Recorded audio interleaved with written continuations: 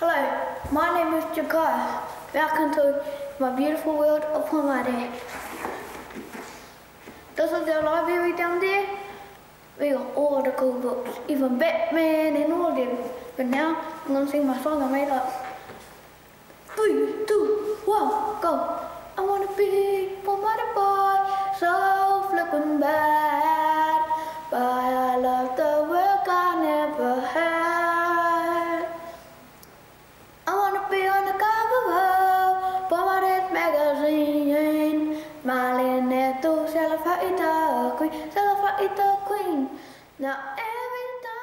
Once upon a time, there was a community filled with fun and games.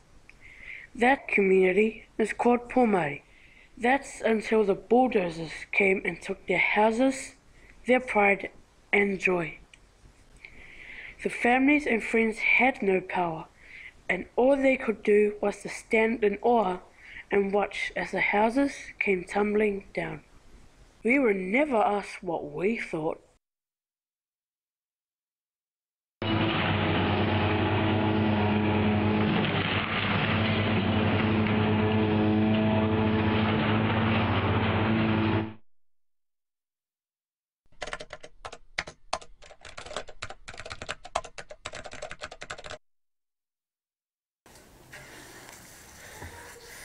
Welcome to Campbell Live. My name is John Campbell, your host, and as we today we concentrate on alcohol consumption and how it's affecting children in our community today.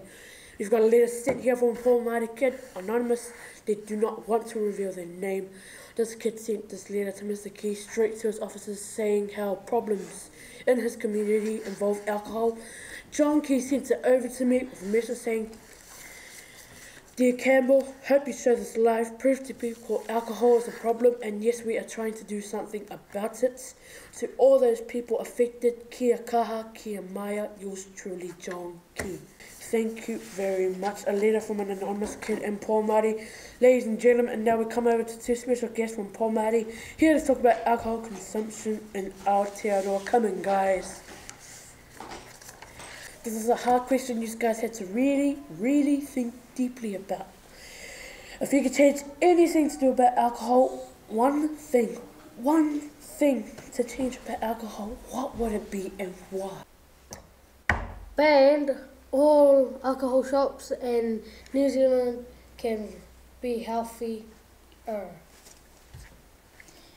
Only a certain amount of beer. Hmm, let me think.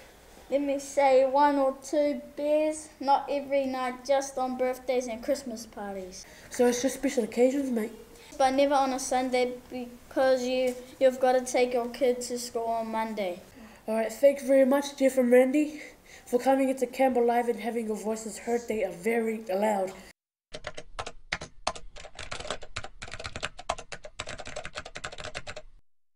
How did you feel when you moved? It's pretty dumb because you had to leave the community, friends, family. Yep. What would make Pomare an even better place for kids to live? More houses, What is the best thing about living in Pomare? my family and friends. What would make Pomare an even better place for kids to live? More houses for families. What would make Pomare an even better place for kids to live? Have more parks and um, other stuff. Do you think kids should decide what happens to Pomare in the future? Yes. What makes you so special in Pomare? Well, I have friends and family there, and everyone is like one big family. We stick together.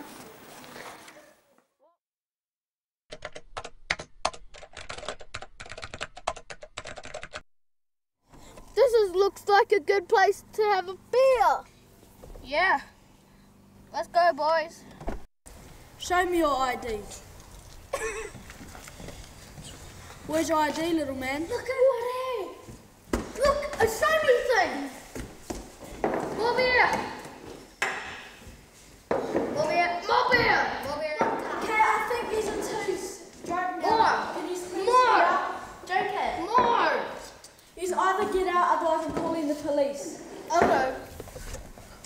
to get home, but we're too drunk. Nah, it's okay. Just drive the thing. Okay, but I wonder. Whoa, whoa.